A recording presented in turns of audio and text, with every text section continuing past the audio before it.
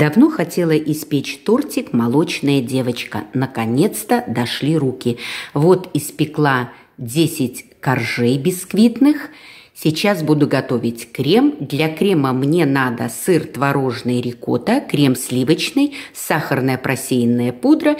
Еще мне надо будет малиновый джем для прослойки и замороженная клубничка для украшения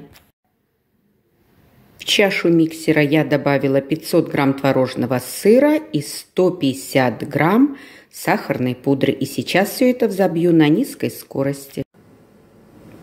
Крем я взбивала на низких оборотах, потом постепенно добавляла вот такой сливочный крем. И уже обороты немножко прибавляла. Вот таким образом собираю тортик. Корж, на корж крем и на крем немножко малинового джема.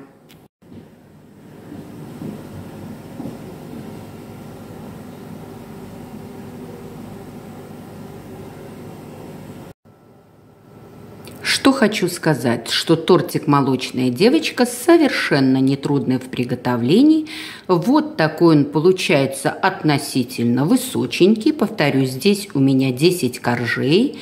Еще хочу выровнять тортик кремом чиз. Для крема чиз мне понадобится 120 грамм сливочного масла, 350 грамм творожного сыра рикотта и 100 грамм просеянной сахарной пудры.